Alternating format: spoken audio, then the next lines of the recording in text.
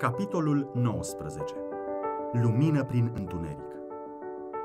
Lucrarea lui Dumnezeu de pe pământ prezintă de la un viac la altul o asemănare izbitoare în orice reformă mare sau mișcare religioasă.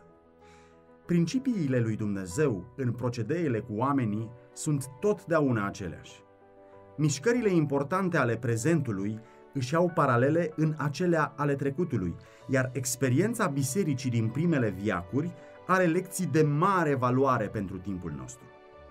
Niciun adevăr nu este mai clar arătat în Biblie ca acela că Dumnezeu, prin Duhul Său cel Sfânt, îi conduce în mod deosebit pe slujitorii săi de pe pământ în marile mișcări pentru a face să înainteze lucrarea de mântuire.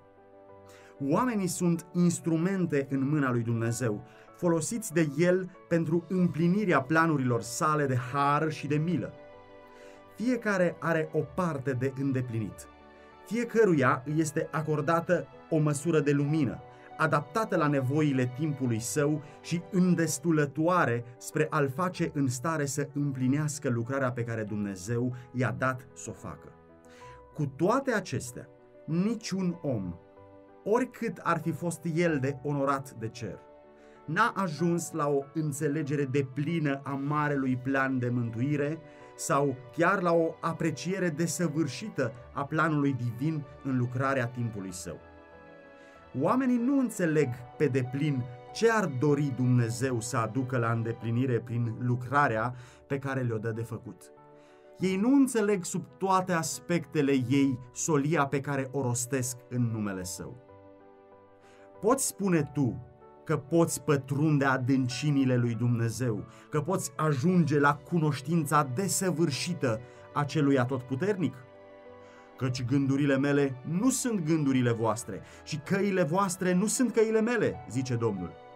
Ci cât sunt de sus cerurile față de pământ, atât sunt de sus căile mele față de căile voastre și gândurile mele față de gândurile voastre.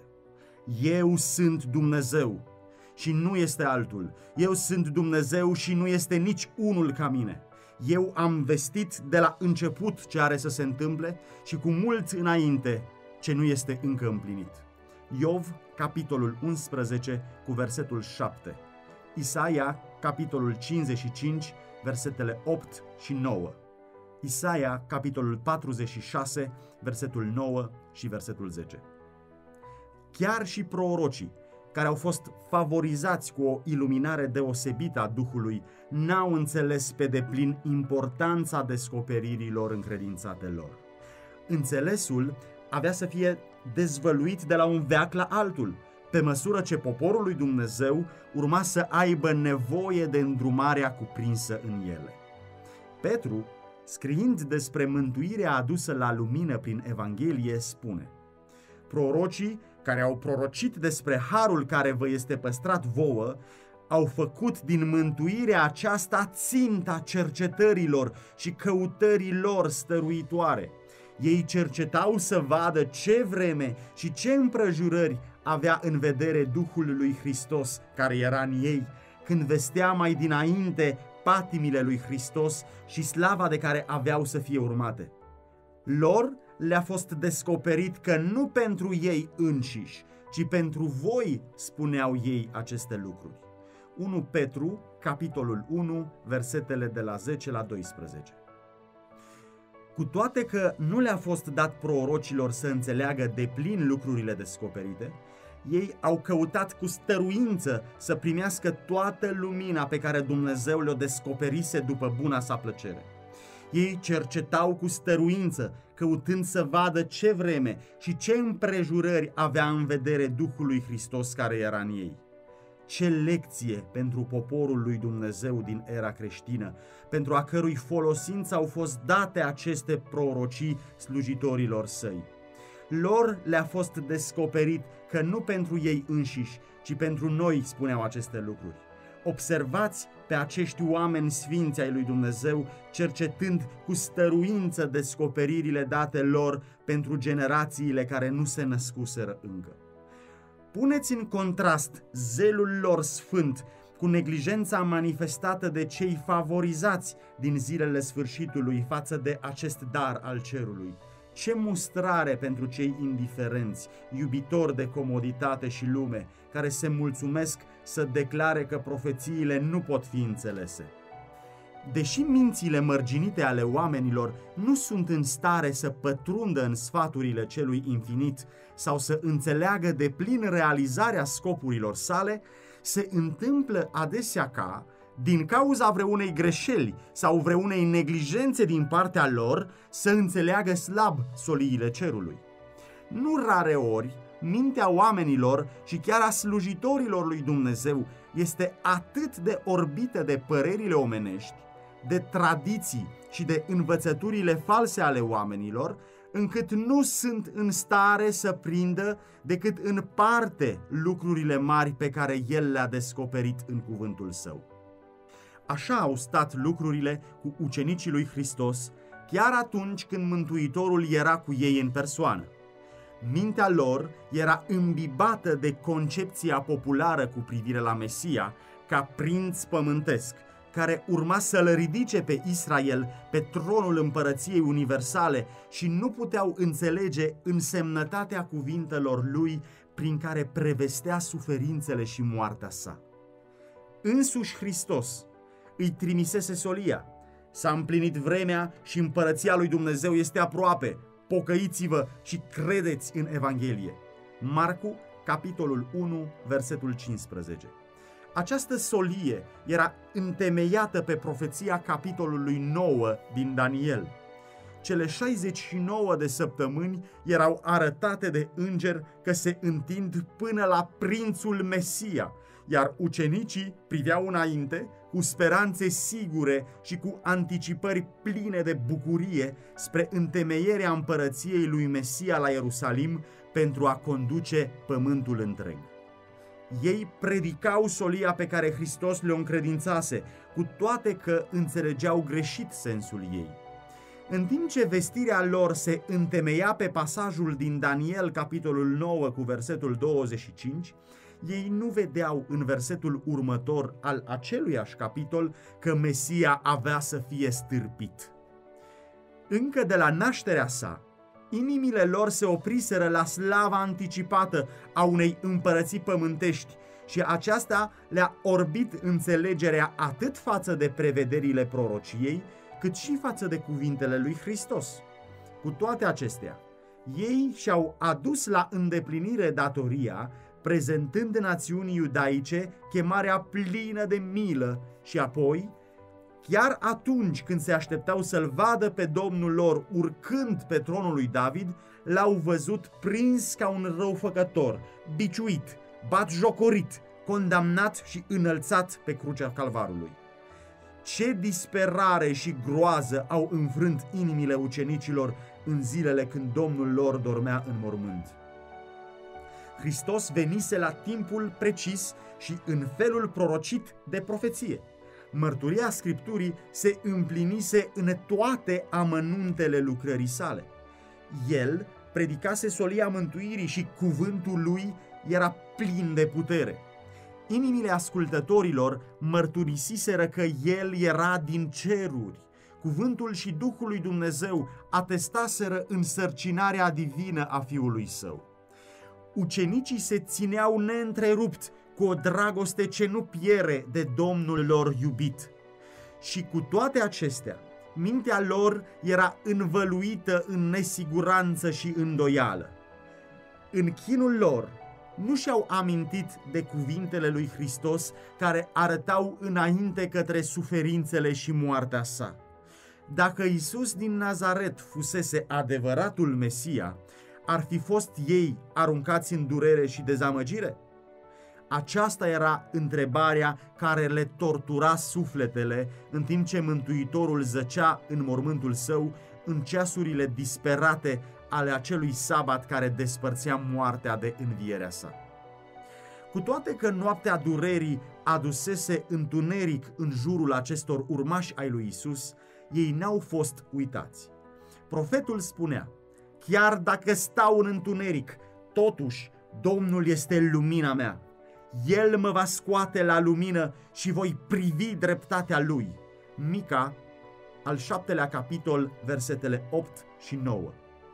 Iată că nici chiar întunericul nu este întunecos pentru tine, ci noaptea strălucește ca ziua și întunericul ca lumina. Dumnezeu spune, celui fără prihană îi răsare o lumină în întuneric. Voi aduce pe orbi pe un drum necunoscut de ei, îi voi povățui pe cărări neștiute de ei, voi preface întunericul în lumină înaintea lor și locurile strâmbe în locuri netede. Iată ce voi face și nu-i voi părăsi. Psalmi, capitolul 139 cu versetul 12, Psalmi, capitolul 112 cu versetul 4, Isaia, capitolul 42 cu versetul 16. Vestirea pe care o duseseră ucenicii în numele Domnului era corectă în toate amănuntele, iar evenimentele către care arătase ea aveau loc chiar atunci. S-a împlinit vremea și împărăția lui Dumnezeu este la uși, fusese solia lor. La închiderea vremii, a celor 69 de săptămâni din Daniel, capitolul 9, care urmau să se întindă până la unsul Mesia, Hristos primise ungerea Duhului după ce fusese botezat de Ioan în Iordan. Iar împărăția lui Dumnezeu, despre care ei spuseseră că este la uși, fusese întemeiată prin moartea lui Hristos. Această împărăție nu era așa cum fuseseră ei învățați să creadă, o împărăție pământească. Nu era nici împărăția aceea veșnică, nemuritoare, care va fi întemeiată atunci când domnia, stăpânirea și puterea tuturor împărățiilor de sub cerul întreg vor fi date poporului sfinților celui prea înalt, acea împărăție veșnică în care toate puterile îl vor sluji și îl vor asculta. Daniel, capitolul 7, cu versetul 27. În Biblie, expresia împărăția lui Dumnezeu este folosită pentru a desemna atât împărăția Harului, cât și împărăția Slavei. Împărăția Harului este scoasă în evidență de Pavel în epistola către evrei. După ce arată spre Hristos ca mijlocitor plin de milă, care este mișcat de simțul slăbiciunilor noastre, apostolul spune Să ne apropiem cu încredere de scaunul Harului, ca să căpătăm îndurare și să găsim har. Evrei, capitolul 4, versetele 15 și 16. Tronul Harului reprezintă împărăția Harului, deoarece existența unui tron implică existența unei împărății. În multe din parabolele sale, Hristos întrebuințează expresia împărăția cerurilor pentru a descrie lucrarea Harului Divin asupra inimilor oamenilor. În felul acesta, tronul slavei reprezintă împărăția slavei și la această împărăție se face referire în cuvintele Mântuitorului. Când va veni Fiul omului în slava sa, cu toți sfinții îngeri, va ședea pe scaunul de domnie al slavei sale. Toate neamurile vor fi adunate înaintea lui. Matei, capitolul 25, versetele 31 și 32. Această împărăție este încă în viitor. Nu se va întemeia până la a doua venire a lui Hristos. Împărăția Harului însă a fost instituită imediat după căderea omului, când a fost pus în aplicare planul pentru mântuirea neamului omenesc căzut. Până atunci, ea exista în planul și în făgăduința lui Dumnezeu și prin credință oamenii pot deveni supuși ei, dar în realitate n-a fost întemeiată până la moartea lui Hristos. Chiar după intrarea în lucrarea sa pământească, Mântuitorul, împovărat de încăpățânarea și nerecunoștința oamenilor, se putea retrage de la jertfa de la Calvar. În Ghețemani, paharul de amărăciune a tremurat în mâna sa.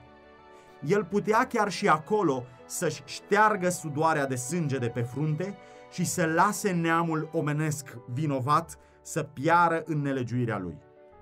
Dacă ar fi făcut lucrul acesta, n-ar mai fi fost răscumpărare pentru omenirea căzută. Dar când Mântuitorul și-a dat viața și cu ultima suflare a strigat, s-a sfârșit, atunci împlinirea planului de mântuire a fost asigurată. Făgăduința mântuirii făcută perechii păcătoase în Eden a fost ratificată. Împărăția Harului, care până atunci existase prin făgăduința lui Dumnezeu, a fost atunci întemeiată. În felul acesta, moartea lui Hristos, chiar evenimentul pe care ucenicii îl socotiseră ca fiind nimicirea finală a nădejdilor, a fost aceea care a asigurat-o pentru veșnicie. În timp ce îi aruncase în cea mai crudă dezamăgire, ea era dovada culminantă a corectitudinii credinței lor. Evenimentul care îi umpluse de jale și disperare era acela care deschidea ușa nădejdii pentru orice fiu al lui Adam și în care se concentra viața viitoare și fericirea veșnică pentru toți cei credincioși ai lui Dumnezeu din toate viacurile. Planurile milei infinite și-au ajuns împlinirea chiar și în dezamăgirea ucenicilor în timp ce inimile lor fusese răcâștigate de harul divin și de puterea învățăturilor lui Hristos, care a vorbit cum n-a mai vorbit niciodată vreun om, totuși, aurul curat al iubirii lor pentru Domnul era amestecat de mândrie lumească și ambiții egoiste.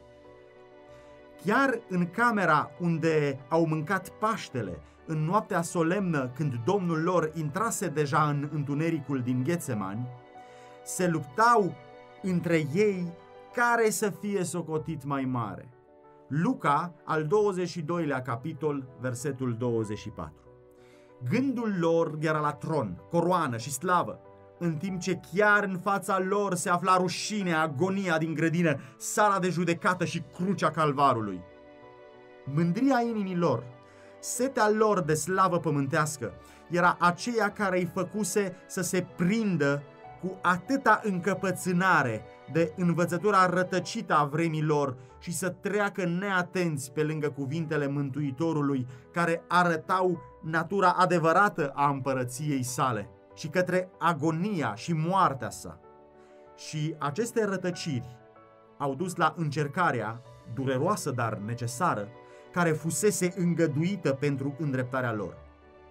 Cu toate că ucenicii înțeleseseră greșit însemnătatea soliei și nu-și dăduseră seama de așteptările lor, predicaseră totuși avertizarea dată de Dumnezeu, iar Domnul urma să le răsplătească credința și să le onoreze ascultarea lor urma să le fie încredințată lucrarea de predicare către toate neamurile a Evangheliei slăvite despre Domnul lor înviat.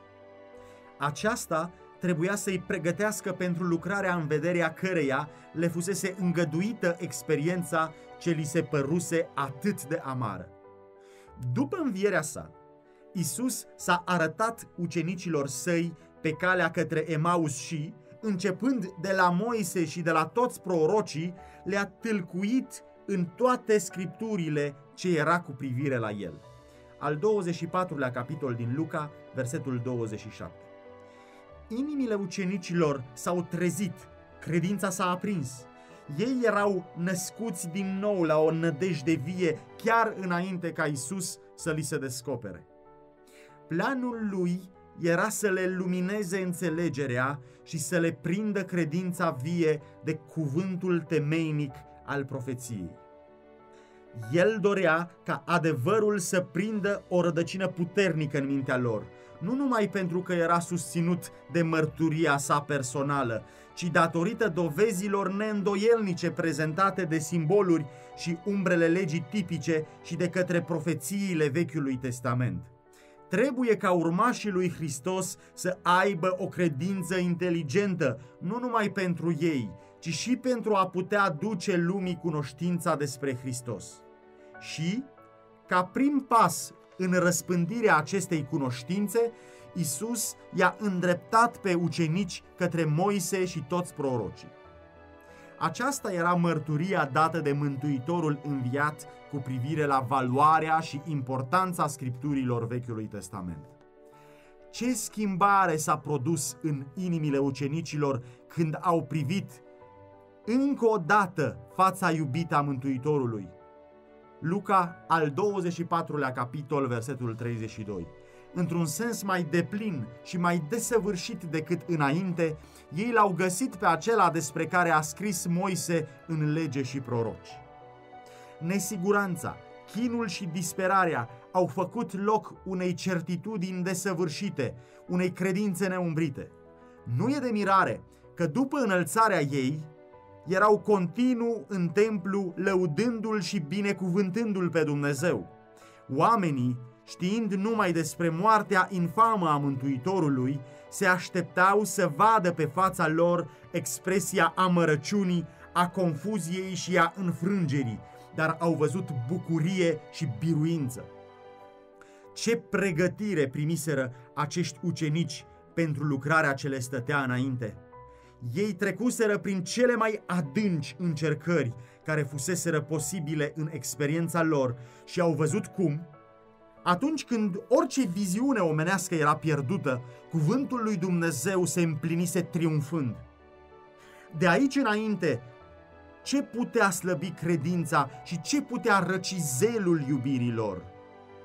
În cea mai aprigă durere, ei avuseseră o mângâiere puternică, o nădejde care era o ancoră a sufletului tare și neclintită. Evrei, capitolul 6, versetele 18 și 19. Ei fuseseră martori ai înțelepciunii și puterii lui Dumnezeu și erau încredințați că nici moartea, nici viața, nici îngerii, nici stăpânirile, nici puterile, nici lucrările de acum, nici cele viitoare, nici înălțimea, nici adâncimea și nici o altă făptură nu erau în stare să-i despartă de dragostea lui Dumnezeu care este în Hristos Isus, Domnul nostru. În toate aceste lucruri, spuneau ei, suntem mai mult decât biruitori prin acela care ne-a iubit.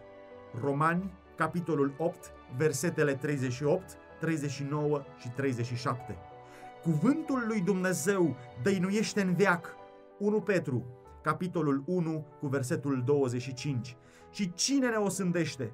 Hristos a murit, mai mult, El a înviat și este chiar la dreapta lui Dumnezeu și mijlocește pentru noi. Romani, capitolul 8, cu versetul 34. Poporul meu, zice Domnul, nu va mai fi niciodată de ocară. Ioel, capitolul 2, cu versetul 26. Seara vine plânsul, iar dimineața vine veselia. Psalmi, capitolul 30, cu versetul 5. Când în ziua învierii acești ucenici s-au întâlnit cu Mântuitorul, inimile lor ardeau în ei când ascultau cuvintele sale. Când au văzut fruntea, mâinile și picioarele care fusese răzdrobite pentru ei, când Înainte de înălțarea sa, Isus i-a condus afară din Betania și ridicându-și mâinile în semn de binecuvântare le-a poruncit Mergeți în toată lumea și predicați Evanghelia, adăugând Iată că eu sunt cu voi în totdeauna. Marcu, capitolul 16, versetul 15, Matei, capitolul 28, cu versetul 20. Când în ziua cinzecimii, mângâietorul făgăduit a coborât și a fost dată putere de sus, iar sufletele credincioșilor au tresărit de conștiința prezenței Domnului lor înălțat, atunci, chiar dacă, asemenea lui, ar fi trebuit să treacă prin sacrificiu și martiraj, ei nu ar fi dat slujirea Evangheliei Harului Său și coroana neprihănirii care va fi primită la venirea sa pentru slava unui tron pământesc care fusese nădejdea de la început a uceniciei lor. El, care va face cu mult mai mult decât putem noi cere sau gândi, le-a acordat părtășia suferințelor sale, comunicarea bucuriei sale, bucuria de a aduce multe suflete la slavă, o bucurie negrăită, o greutate veșnică de slavă, față de care, spune Pavel, suferințele noastre de o clipă nu merită să fie comparate experiența ucenicilor care au predicat Evanghelia Împărăției la prima venire a lui Hristos își are corespondentul în experiența acelora care au predicat solia celei de-a doua venire a sa. După cum ucenicii au mers predicând, s-a împlinit vremea și împărăția lui Dumnezeu este aproape. Tot astfel, Miller și tovarășii lui au predicat că perioada profetică din urmă și cea mai lungă, scoasă în evidență de Biblie, era gata să se încheie, că judecata era aproape, iar împărăția veșnică urma să se arate. Predicarea venirii de către ucenici se întemeia pe cele 70 de săptămâni din Daniel, capitolul 9. Dar solia lui Miller și a tovarășilor săi anunța încheierea celor 2300 de zile din Daniel, capitolul 8, cu versetul 14, din care cele 70 de săptămâni erau doar o parte. Predicarea fiecăruia s-a întemeiat pe împlinirea unei alte părți din aceeași mare perioadă profetică. Asemenea primilor ucenici, William Miller și tovarășii lui n-au înțeles de plin importanța soliei pe care o vesteau. Rătăciri care fuseseră împământenite de multă vreme în biserică i-a împiedicat să ajungă la o interpretare corectă a unui punct important al profeției. De aceea, cu toate că au vestit solia pe care Dumnezeu le-a încredințat-o să o ducă lumii, printr-o înțelegere greșită a sensului ei, au suferit dezamăgirea. În explicarea pasajului din Daniel, capitolul 8, cu versetul 14, până vor trece 2300 de zile, apoi Sfântul Locaș va fi curățit, Miller, așa cum s-a stabilit, a adoptat concepția primită unanim că pământul este sanctuarul și a crezut că, de fapt, curățirea sanctuarului reprezintă curățirea pământului prin foc la venirea Domnului. Și când a descoperit că încheierea celor 2300 de zile era profetizată cu precizie, el a tras concluzia că aceasta descoperea timpul celei de-a doua veniri. Greșeala lui a rezultat din acceptarea concepției populare de atunci cu privire la sanctuar. În sistemul tipic, care era o umbră a jertfei și a preoției lui Hristos, Curăția sanctuarului era ultimul serviciu îndeplinit de marele preot în ciclul anual de slujbe. Aceasta era lucrarea de încheiere a ispășirii, o îndepărtare a păcatului din Israel. Ea prefigura lucrarea de încheiere în slujba marelui nostru preot din ceruri, prin îndepărtarea sau ștergerea păcatelor poporului său, care sunt scrise în rapoartele cerului. Acest serviciu cuprinde o lucrare de cercetare, o lucrare de judecată și precede imediat venirea lui Hristos pe norii cerului cu putere și slavă mare, căci atunci când vine, toate cazurile au fost hotărâte. Isus spune, răsplata mea este cu mine ca să dau fiecăruia după fapta lui. Apocalipsa, capitolul 22, cu versetul 12. Lucrarea aceasta de judecată, care precede imediat a doua venire, este anunțată în prima solie îngerească din Apocalipsa, capitolul 14, cu versetul 7. Temeți-vă de Dumnezeu și dați-i slavă, căci a venit ceasul judecății lui. Aceia care au vestit această avertizare au avut solia potrivită pentru timpul potrivit. Dar, așa cum primii ucenici au declarat, S-a împlinit vremea și împărăția lui Dumnezeu este aproape. Întemeiați pe prorocia din Daniel, capitolul 9, fără să înțeleagă că moartea lui Mesia era profetizată în aceeași scriptură.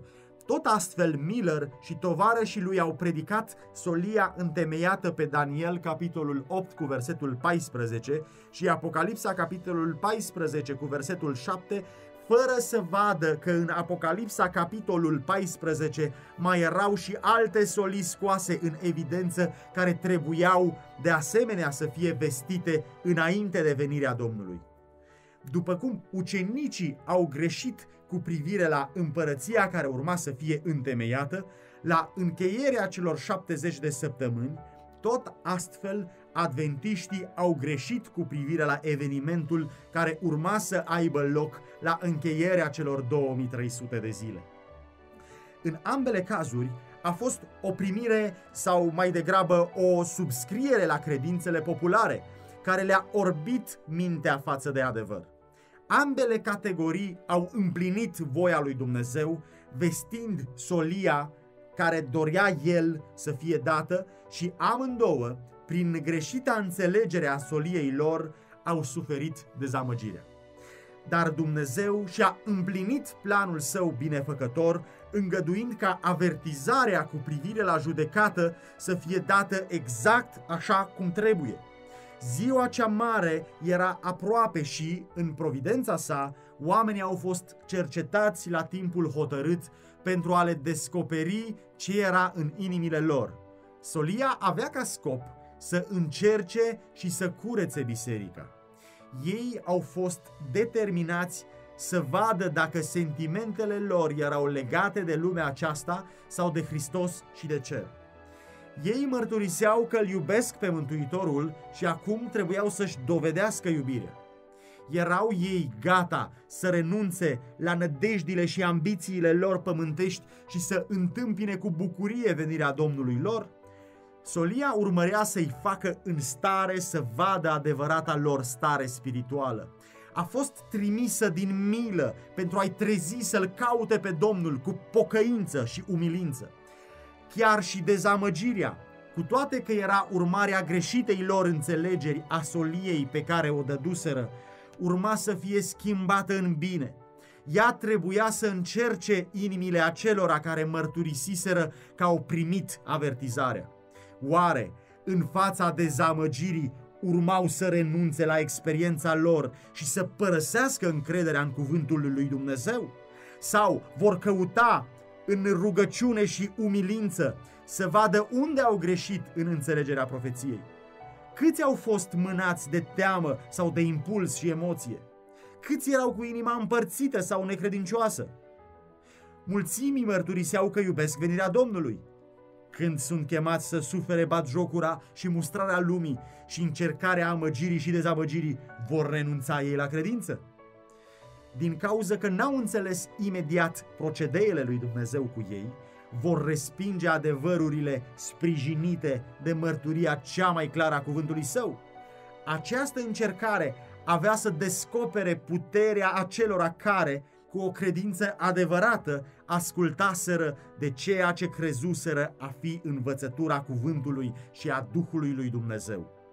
Ea urma să învețe, așa cum numai o astfel de experiență putea să o facă, primejdia de a primi teoriile și interpretările oamenilor, în loc de a face din Biblie propriul interpret. Pentru copiii credinței, nedumerirea și amărăciunea care au fost urmarea greșelilor lor trebuiau să lucreze în dreptarea necesară. Ei aveau să fie conduși la un studiu mai atent al cuvântului profetic. Urmau să fie învățați să examineze mai cu atenție temeiul credinței lor și să respingă orice lucru, oricât de mult ar fi acceptat de lumea creștină care nu era întemeiat pe scripturile adevărului. Pentru acești credincioși, ca și cu primii ucenici, ceea ce în ceasul încercării părea întunecat pentru înțelegerea lor, urma să fie clarificat după aceea. Când urmau să vadă sfârșitul pe care îl va da Domnul, aveau să știe că, în ciuda încercării care a fost urmarea greșelilor lor, planurile sale de iubire față de ei se împliniseră fără greș. Ei aveau să învețe printr-o experiență binecuvântată că El este foarte îndurător și plin de milă, că toate căile sale sunt milă și adevăr pentru aceia care păzesc legământul său și mărturiile sale.